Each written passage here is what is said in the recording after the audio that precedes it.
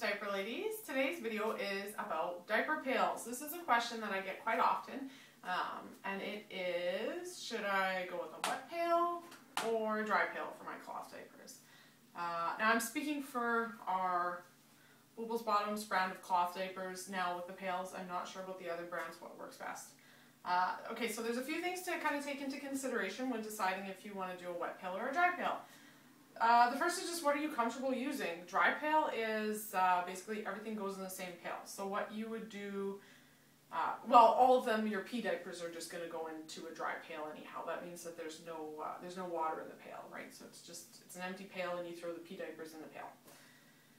Uh, now the poop diapers. So what you can do with those, if you just want to use a dry pail, is when your baby poops, you would just rinse it out into the toilet uh, so shake it out, and then in the sink, give it a quick rinse off and a quick little scrub.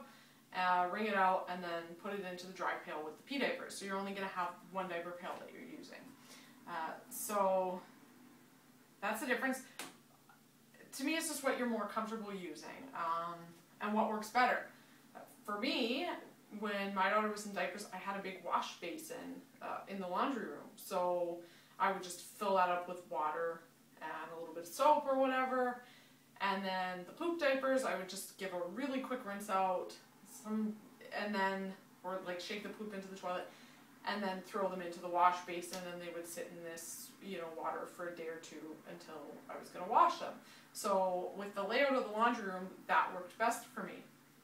Um, so just think about sort of how your how your house and your laundry and your bathroom is set up. Uh, if you're in a small space, it just might not make sense to have two pails and it might just be a lot easier for you to have one dry pail.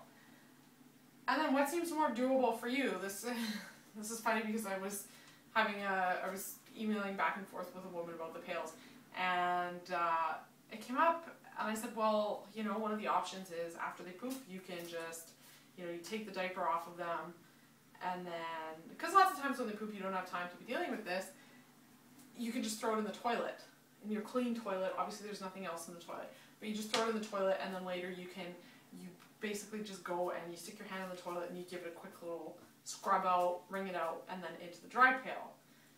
And I said, but I don't really, I did that, um, but I don't talk about it on videos and I don't recommend it too much because when you tell parents to stick their hand in the toilet, it's just like, you want me to do what?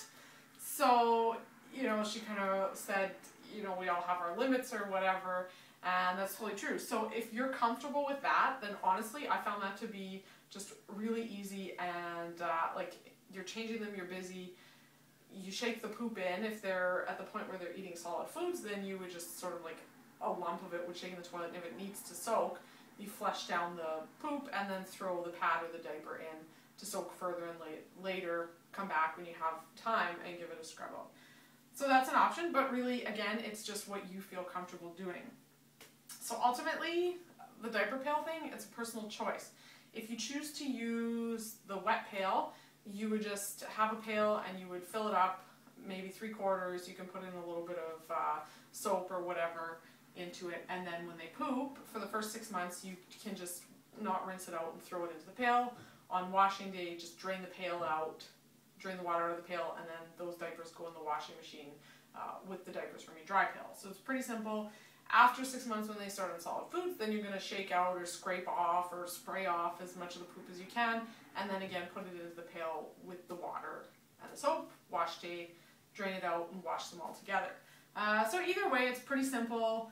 Um, you can do a combination of both. You can try both, see what works for you.